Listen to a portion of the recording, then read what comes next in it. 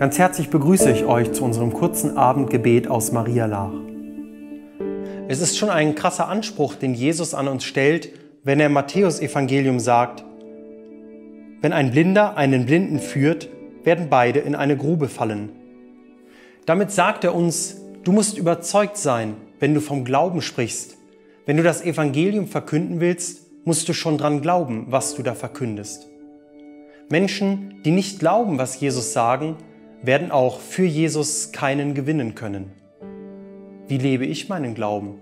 Ist mein Glaube ansprechend gewesen? Lebe ich meine Überzeugung und lebe ich das, was ich von Jesus verstanden habe, so, dass andere mich darauf ansprechen und vielleicht sogar mitgerissen werden? Lasst uns diesen Tag mit einem kurzen Gebet abschließen.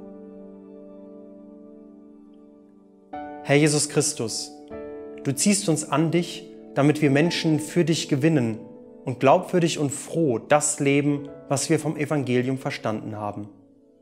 Schenke uns heute die Ruhe der Nacht und erholsamen Schlaf, damit wir auch morgen da das von dir verkünden durch unser Leben, was du uns von dir mitgegeben hast. Ich wünsche euch einen schönen Abend und eine gute Nacht.